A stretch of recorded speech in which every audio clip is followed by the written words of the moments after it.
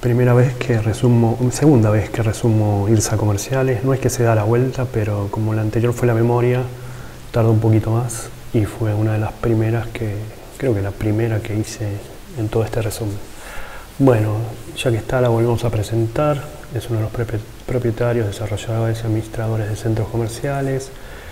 Tienen 15 centros comerciales en la Argentina, de los cuales 14 son de la compañía. Son, por ejemplo, el Abasto, el Alcorta, el Alto Palermo, Patio Burrich, DOT, Distrito Arco, Alto Avellaneda, Soleil, Alto Noa de Salta, Alto Rosario en Rosario, Mendoza Plaza, Córdoba Shopping Villa Cabrera y Alto Comahue en Neuquén. Bueno, Comahue fue el primero que abrió en, esta pandemia. Eh, además está trabajando con un negocio conjunto, si bien no lo dice, es con TGLT, una, compañía que analizamos hace poco, en la Ribera Shopping en la ciudad de Santa Fe y posee la propiedad del edificio histórico en el centro comercial Patio Olmos en la provincia de Córdoba, operando por por, una tercera parte, por un tercero. Eh, la presentación, que es muy bueno el material que, pone IRCP, IRSA Commercial Properties, como dice aquí, eh, porque bueno, hay varias presentaciones, después aparte tuvieron la amabilidad de bajar el SEC, todas las tablas para ver eh, no solo los, los ratios funcionales, sino eh, bueno, ocupaciones, cantidad de tiendas que tienen, por ejemplo, Alto Palermo y, cómo va evolucionando en el tiempo del año 16, o sea, de, 2016. Cómo, cómo, vemos algunas que crecen y otras que van para abajo, en general van para abajo al año de hoy, eh, excepto la Ribera justamente de Santa Fe. Bueno, actualicé como es la segunda vez el fondo de pantalla y vamos a esquema de resultados. El 2020-2021 que arranca ahora el primero que arranca ahora arrancó el 1 de julio con un superávit de 12.349 millones de pesos eh, el 2019-2020 comenzó con un superávit de 2.138 casi una quinta parte por la sobrevaluación de propiedades de inversión con 16.266 millones de pesos, un 89,5 más que el año pasado. Si no estaría esto, el resultado sería 4.000, sería un poquito más ahí nomás, porque es el doble justamente de la revaluación. Pero es muy fuerte que hace como, como dudar del resultado ese de y el tambaleo. Después cuando veamos la deuda también influye. Eh, lo que vamos a mostrar no todavía no es el esquema de resultados, sino bueno sí, el esquema de resultados lo vamos a volver a mostrar después, sino es este valor 16.266 contra 8.583 y, y acá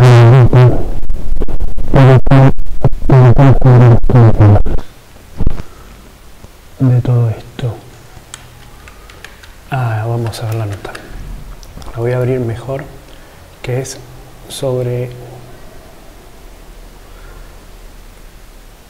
sobre estos calculantes dio 27.000, o sea, esto fue cuando cerró. Hace la comparación con el final del año pasado, la, la revaluación. ¿Pero por qué es? Bueno, para el periodo de tres meses el resultado neto por cambio de valor razonable de propiedad de inversión fue una ganancia de 16.266.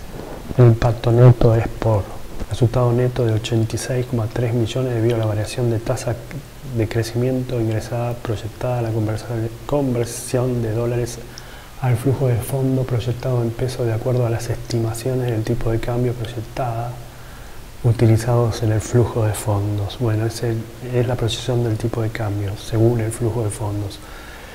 Impacto positivo de 3.695 millones, producto de conversión a peso de valor de los centros comerciales en dólares, en función del tipo de cambio del cierre del periodo. Sobre todo oficinas, ¿no?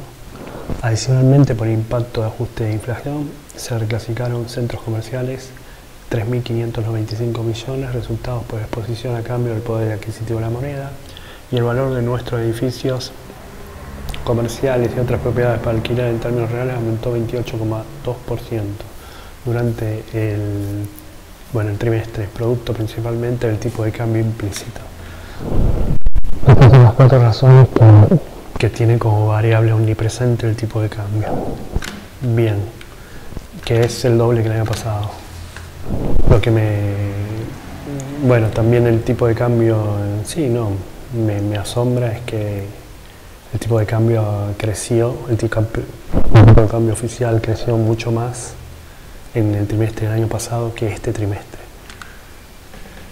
Bueno, se hicieron la asamblea, acá hay un, algo interesante, repartir dividendo en efectivo por 9.700 millones de pesos en cuatro cuotas bimestrales. Ya comienza el 20 del 11, logrado 2.425 millones, a lo que equivale 76,6 por cada, por cada acción que uno tiene.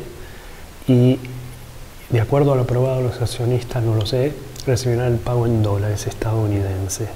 Se aprobó el aumento de capital de 126 millones, es decir, de lo que tenía un 2,33% más.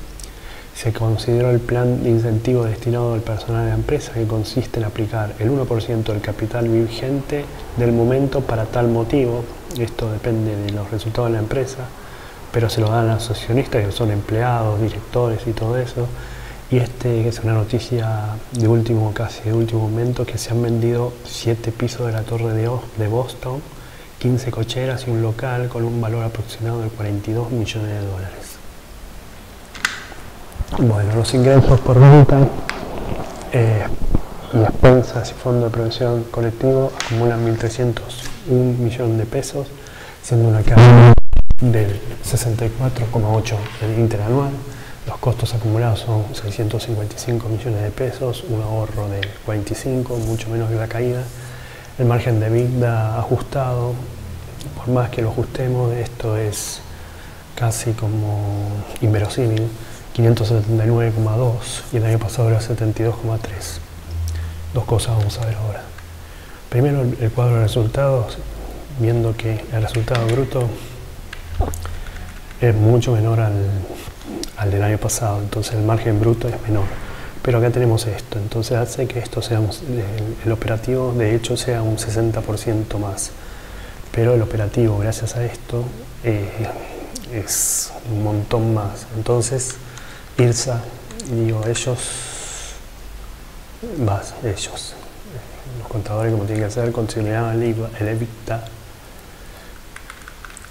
Y acá, bueno, el resultado no realizado por cambio de valor, esto va restando lo que da 579,2% del margen de EBITDA ajustado. Esto es lo operacional, porque después viene lo financiero, ¿no? Que, que es bueno y no bueno, no sé. En cuanto a la división de servicios por, por servicios de ingresos activos 40,9 de la facturación con una caída del 22,6%, eh, por disminución de ocupación de después lo vemos, estos son los 400 y pico, 31,25, una caída del 56, y bueno,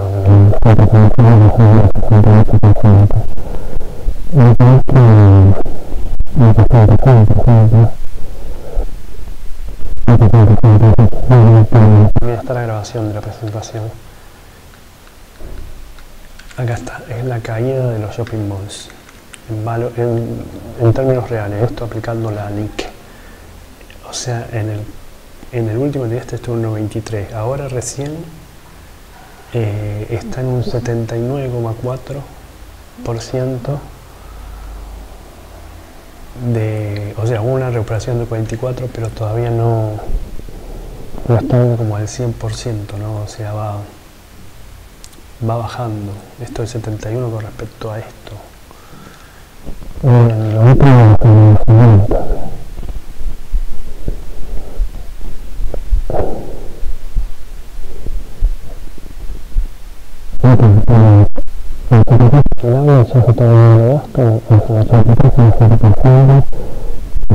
Ya bajó y lo que le conviene cuando no se sabe qué va a pasar. Eh, bueno, el EBITDA siempre es mucho mayor, un 80,2 Y acá está lo que tiene la la, la la Z, todo el que está pasando. Bueno, otra cosa que tiene es eh, los shopping malls.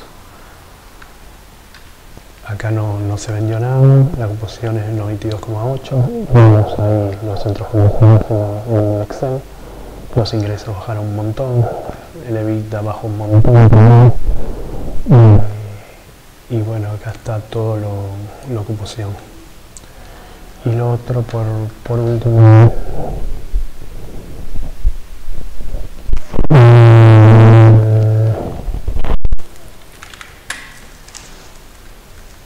acá están los, los gastos por, por empresa que es, bueno, no está no se paga. Estamos a gastos, los dejo acá. Y de los gastos de comercialización y administración acumulan 865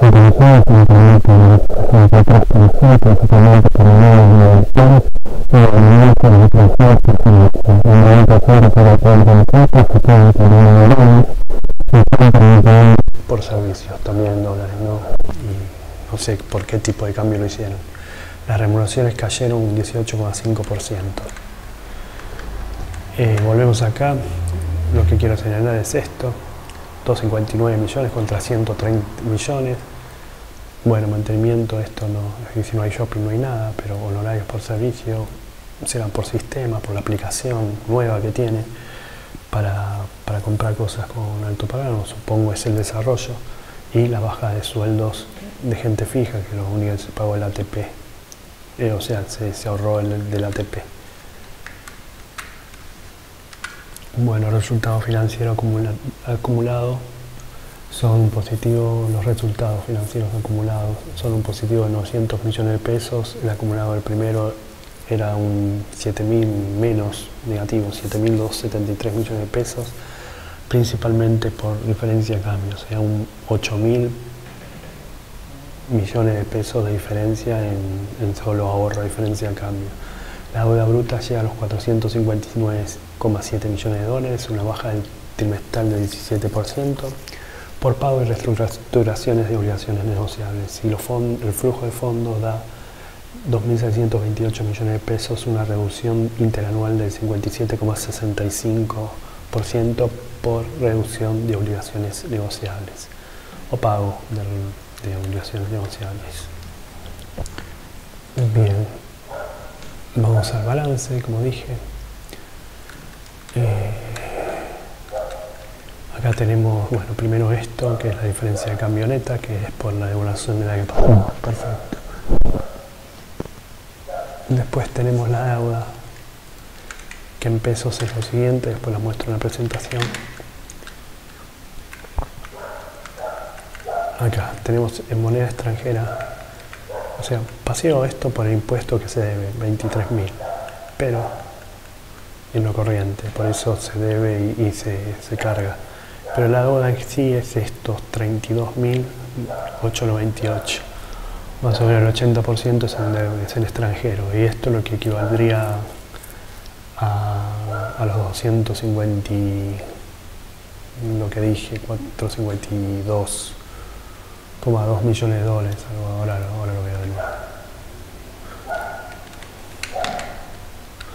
Bueno, estos son los, hay que ver si se hacen estos capes, son las inversiones, este edificio de la Poloera y la extensión del Alto Palermo. Veremos. ahora el Alto Palermo funciona a media máquina. Eh, bien.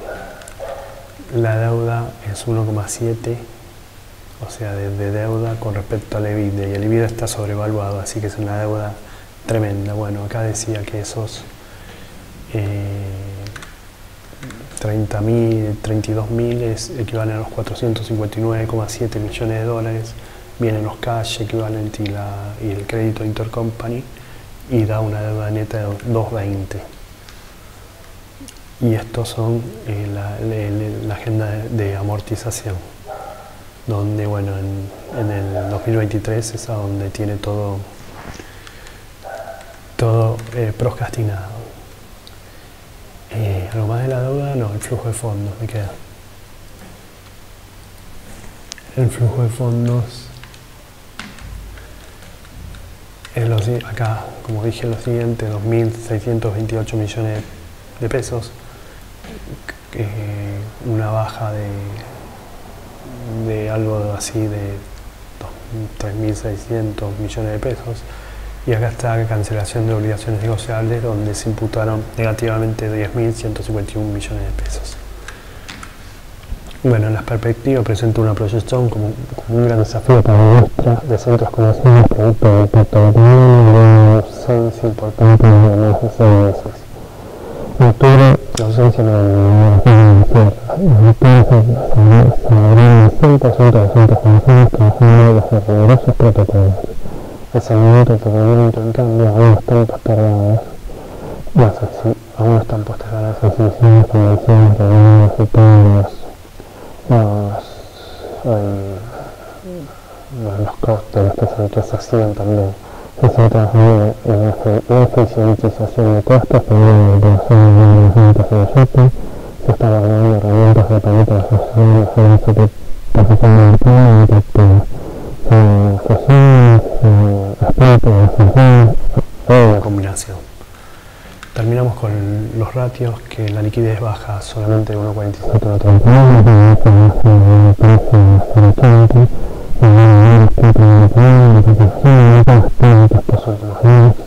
supuestamente por distribución individual o por la llegada de este balance. 412,1 la capitalización es 51.930,3 millones balance de operaciones de 28 pesos y el parque de a, a este y sobre todo al final del año pasado es de 1,89 años. Bueno, es todo. Gracias.